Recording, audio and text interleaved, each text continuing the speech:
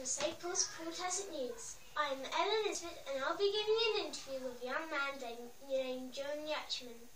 John will be telling us what, how he thinks schools have changed from when he went to school.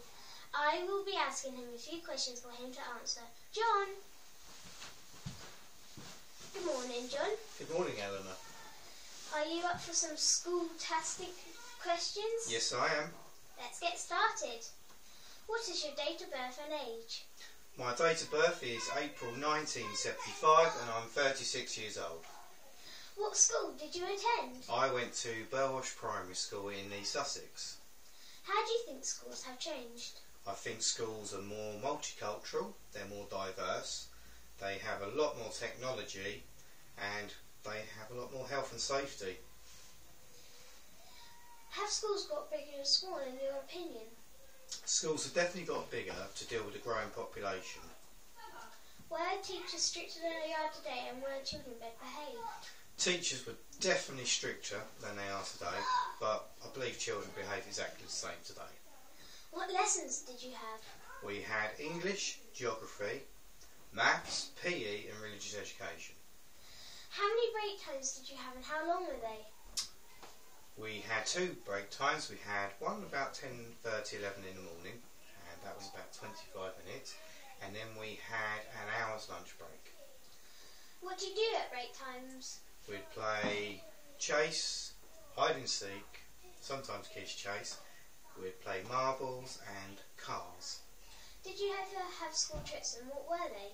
Yes, we had school trips. My one of my favourite trips was a French trip where we went to Dieppe. And on this French trip, we had to interact with local school children. We went to a French market, and we had to speak as much French as we could whilst we was there, and collect as many things with French writing on, such as wrappers and receipts, and create a scrapbook at the end. What types of food did you have, and how did it differ? The school food we had then is probably the same as today. We had lots of fresh vegetables, we would eat fruit, we'd drink lots of water, and we'd have things like fish pie, we'd have chicken pies, and we'd also have some roast dinners, and things like toad in a hole with gravy.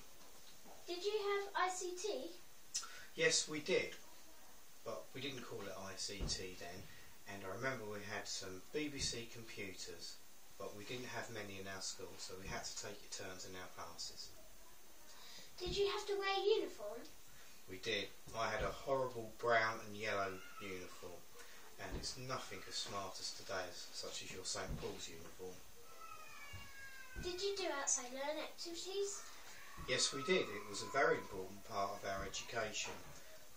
Our school backed onto a churchyard and fields, and we had lots of different trees, and we would have lots of different wildlife, wildflowers, and we would learn all about those, such as birds, foxes, rabbits, and how they live within our surroundings and humans live together. It was good fun and very important to us.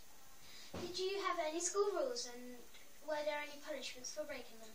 Yes, we did have school rules, and yes, there was punishments. If we was in class and we ignored our teacher and we carried on talking or misbehaving, we'd get a ruler smacked across our knuckles. So we didn't misbehave very often when that happened. If you was really naughty, you'd get sent to the headmaster and you would get the slipper on the bum. And you really didn't like that because that hurt. And for other naughty things, you would have your name read out in assembly and you'd have to stand up and say what you did and apologise to the whole school.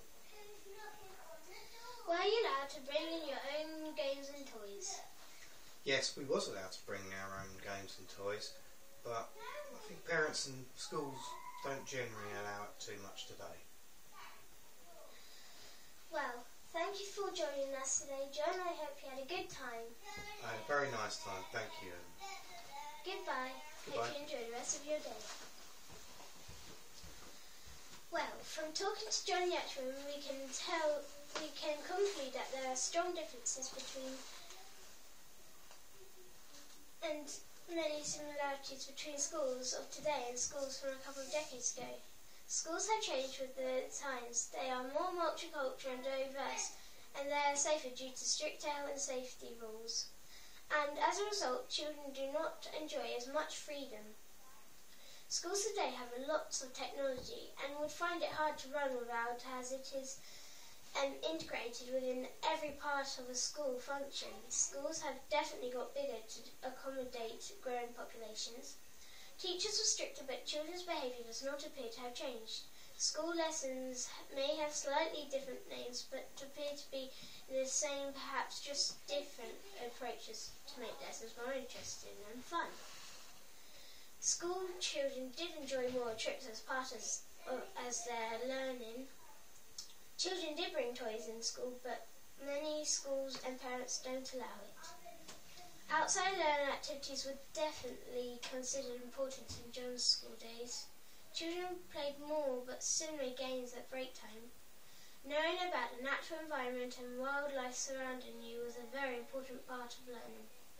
I hope you have found I hope you have enjoyed finding out a few bits of how schools have changed Thank you for watching St. Paul's Paultastic News. Goodbye for now.